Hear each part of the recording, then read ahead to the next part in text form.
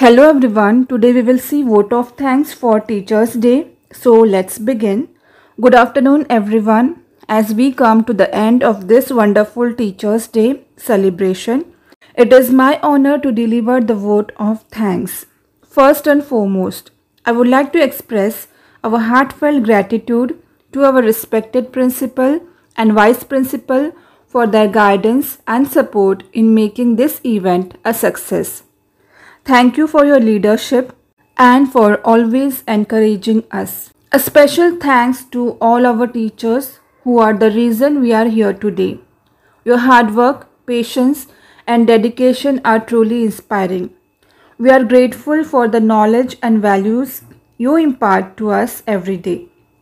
This day is a small way of saying thank you for all that you do. I would also like to thank the students who put in so much effort to make today special.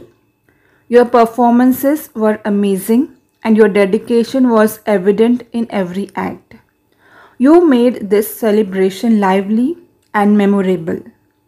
Thank you to everyone involved in organizing this event, the cultural committee, the volunteers, and everyone who worked behind the scenes. Your hard work and planning made everything run smoothly. Lastly, I want to thank all of you, our dear audience, for being such a wonderful and supportive crowd.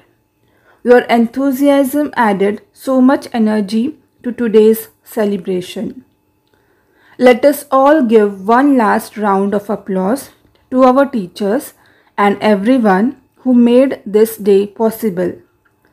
Thank you everyone and have a great day ahead.